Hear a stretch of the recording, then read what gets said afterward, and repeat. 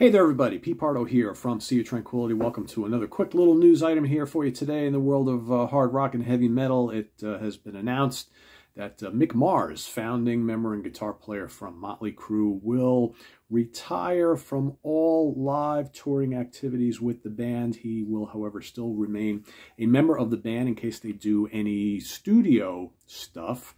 Uh, but as far as live performances, he will no longer be able to do that as uh, he has been suffering from uh, AS, a degenerative uh, disease of the spinal cord, which permits him from, uh, you know, doing any sort of thing on stage. So uh, as for who will take his place, there has been all sorts of rumors that uh, John Five, the great guitar player from Rob Zombie's band, will be taking his place live, but that remains to be seen. So I guess we'll see in the coming weeks what is announced as far as live shows for Motley Crue.